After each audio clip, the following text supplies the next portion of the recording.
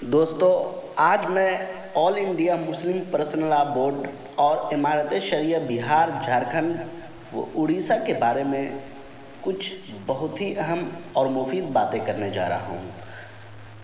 दोस्तों, अभी पिछले दिनों 14 मार्च से 23 मार्च तक मुस्लिम पर्सनल लॉ बोर्ड ने पूरे मुल्क में आसान और मसनून निकाह के उनवान से निकाह को आसान बनाने की एक बड़ी मुहिम चलाई। जिसकी गूंज पूरे हिंदुस्तान में सुनाई थी।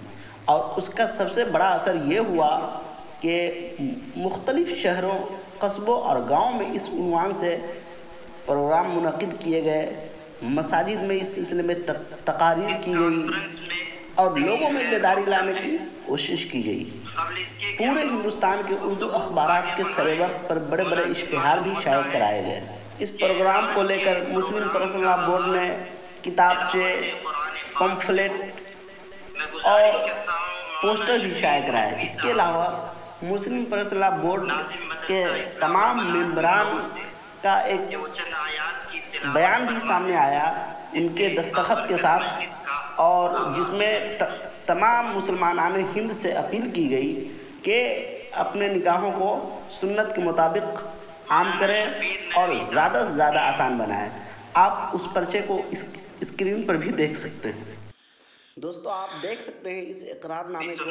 इसमें तकरीबन नौ कराम के दस्तखत शामिल है। उसमें है पहला है निकाह को आसान बनाएँगे बेजा रसूम रवाज ख़ास तौर पर जहेज़ के मुतालबा मंगनी हल्दी वगैरह जैसी चीज़ों से परहेज़ करेंगे।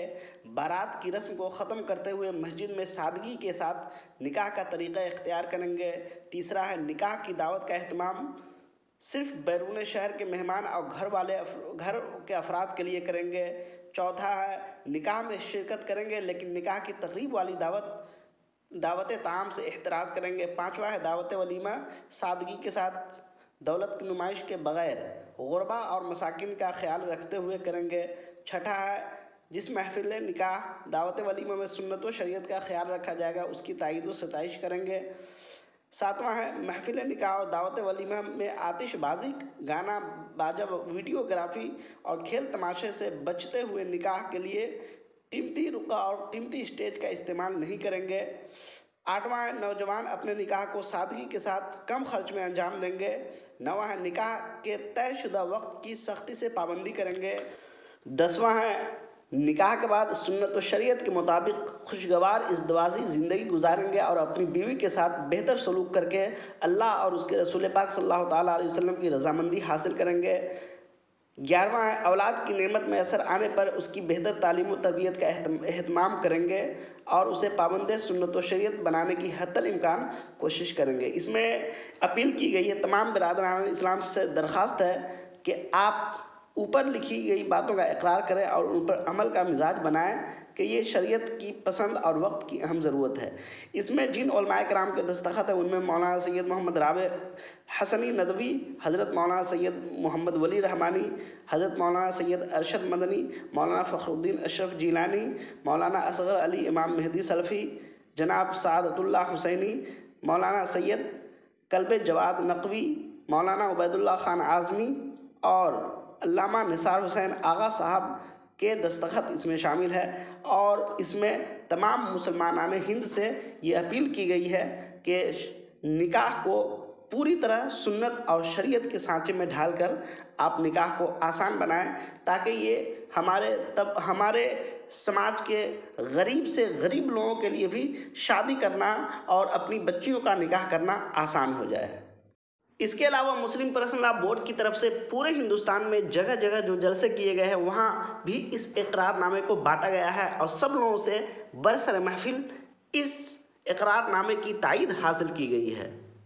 दोस्तों, इन प्रोग्राम के खाते खासरात भी मुरतब हुए, लेकिन जितनी जल्दी उसके असरात मुरतब हुए, उतनी ही जल्दी उसके असरात ज़ायल भी हो गए, क्योंकि दोनों मुहिम को रिवायती अंदाज में मुनद किया गया और इससे उम्मत के नौजवान और कॉलेजों में तालीम याफ्ता स्कॉलर्स को बिल्कुल नहीं जोड़ा गया।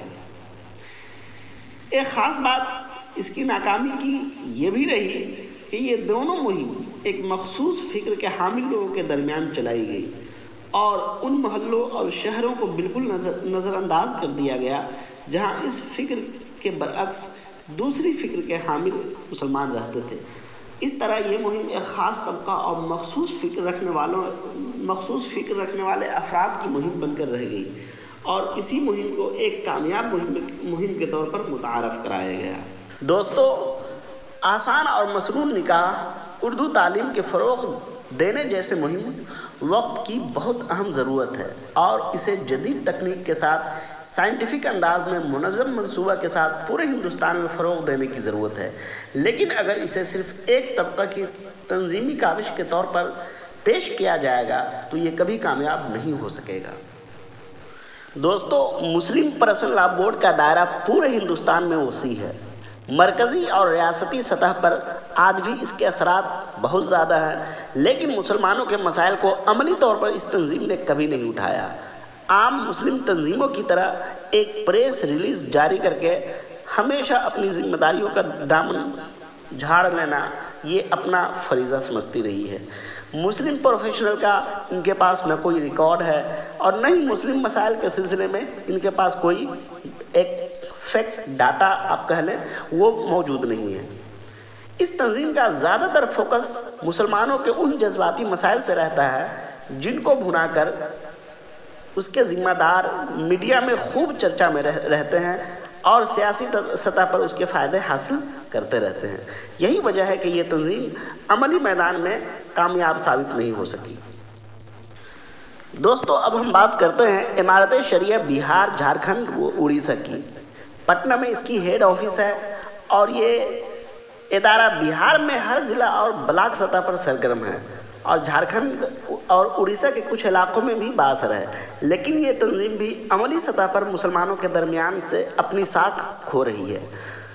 उसकी सबसे बड़ी वजह यह है कि इमारत शरिया का हमेशा एक सियासी रुझान रहा है और एक खास पार्टी के साथ मिलकर मुसलमानों के वोटों का सौदा करने का इल्ज़ाम इस तंजीम पर हमेशा लगता रहा है। या इस तंजीम से जो वाबस्ता, जो ओलमा है, उन पर ये इल्ज़ाम हमेशा लगता रहा है।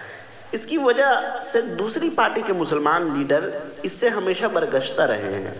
इमारत शरिया भी अपनी रिवायती कारकर्दगी के सबब अपने असर रसूख के बावजूद वो कारनामे अंजाम नहीं दे सका जो उसे देना चाहिए। और उर्दू के फ़रोग के लिए पिछले दिनों पूरे बिहार और झारखंड और उड़ीसा में बड़े पैमाने पर जो मुहिम चलाई गई थी और जिसके नतीजे में लोगों में काफ़ी बेदारी आई, लेकिन उसका कोई ज़मीनी असर नहीं देखा गया।